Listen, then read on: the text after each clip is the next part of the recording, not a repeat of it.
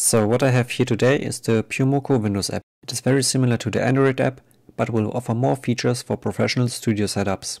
The main difference is that you will have full control over the keyframes. Each keyframe will have adjustable control points so that you can define the slope and speed behavior in many ways.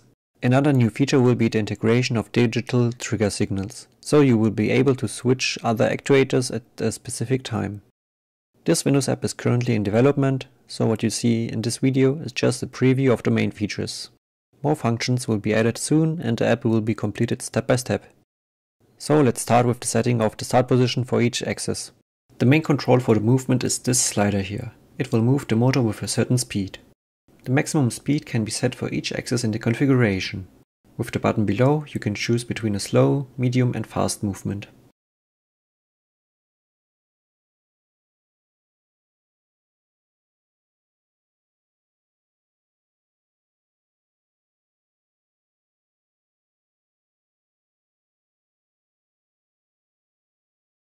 If you want to make very precise small movements, you can use the buttons above.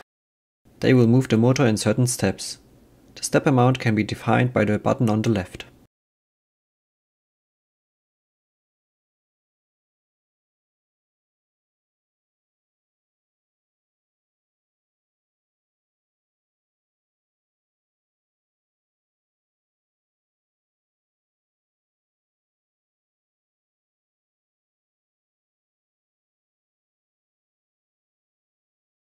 Once you have set the start points for each axis, you need to create and define the keyframes.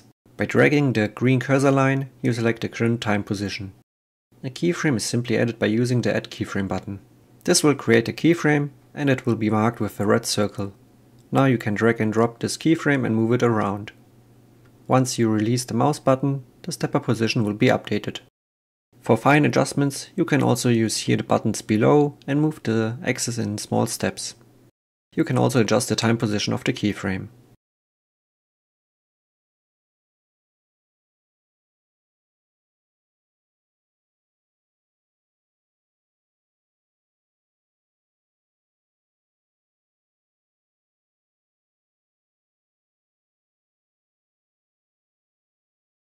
If you want to have exact values, you can use the position and time text box at the right and type in directly the values.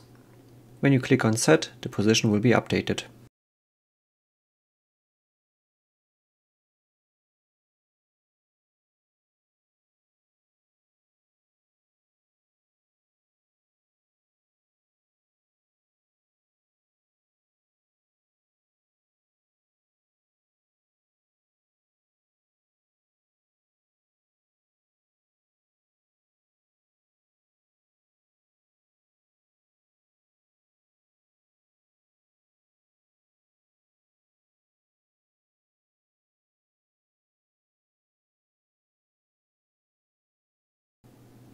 Of course you can also remove keyframes. To do this, just select a keyframe and click on the Remove button. Repeat the steps for all other axes to set up the entire motion.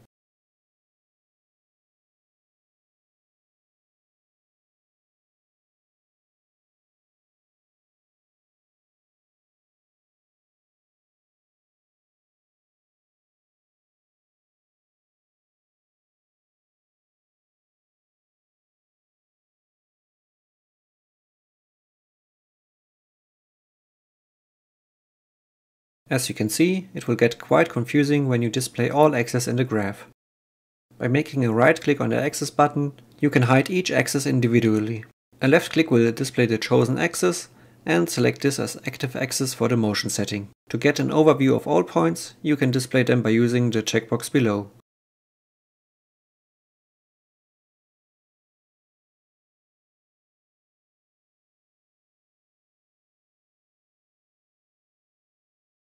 As mentioned, it is possible to have full control over the keyframes. Just drag and drop the control point and adjust the position.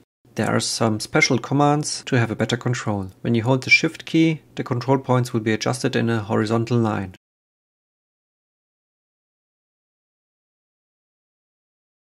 When you hold the control key, you will only adjust the length of one side.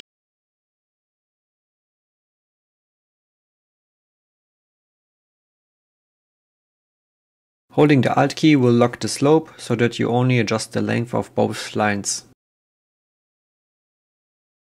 With the space key it is possible to make full independent movement of one side.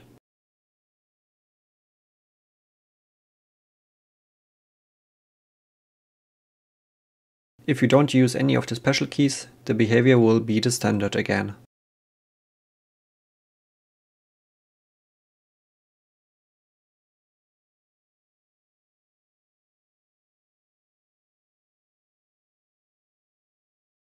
With this kind of control, it is also possible now to create a still stand of one axis. Just make sure that both points are at the same position and that you set up the control lines horizontally by using the shift key.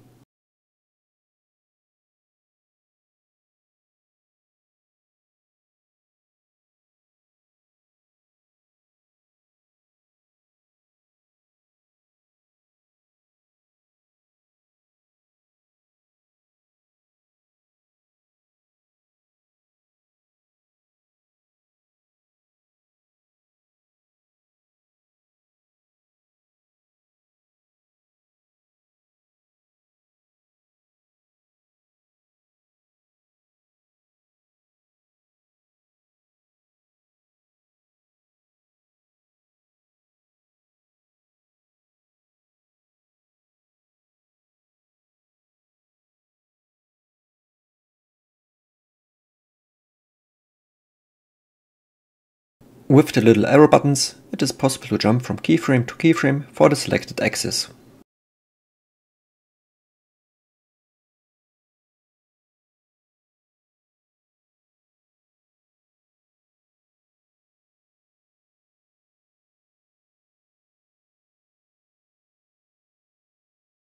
After you have set up the entire motion, you can change the time and start the movement. Currently, it is only possible to start the motion from the start position but there will also be the possibility to start at any point and also to make a movement in both directions.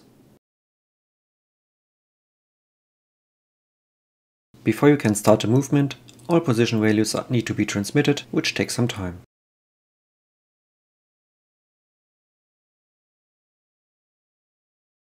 Once the movement has started, you cannot pause it and need to wait until it's finished.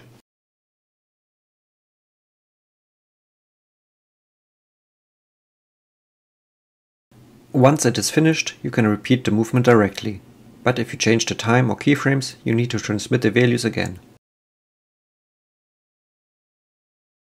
Another feature of the app is the possibility to save and load all keyframes. With this, you are able to repeat all the movements very easy. When you click on the Save button, you will be directed to the preset folder and the file name will be the date and time. Of course, you can adjust this. By clicking on the folder button, the preset folder will be opened as you can see, this file contains all points for each axis.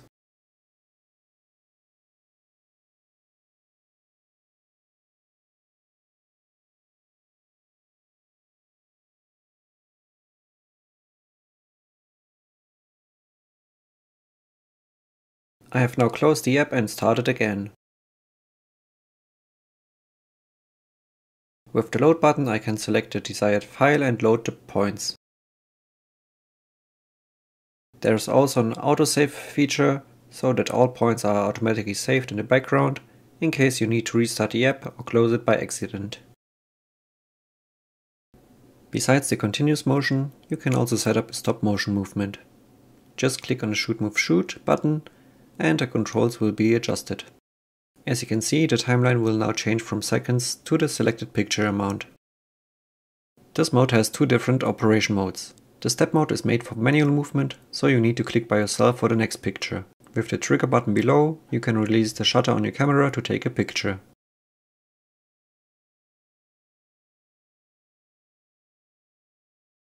By choosing the left button, you can move in the other direction. The other mode is labeled as auto mode. The direction buttons, left and right, will now be highlighted to indicate the selected direction.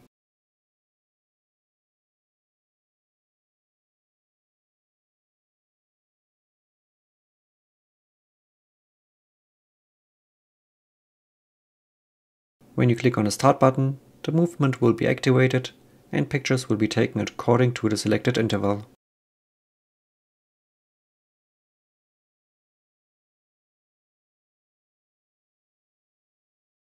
Once the motion is finished, you will be informed by a message box.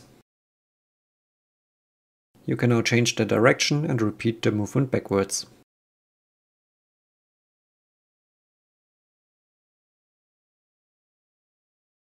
It is possible to stop the movement at any time and switch to step mode to repeat some single images.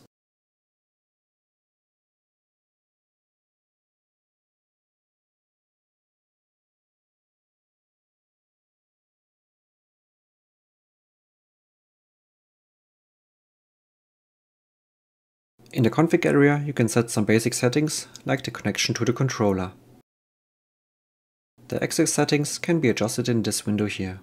Those are all basic parameters which are important for the movement.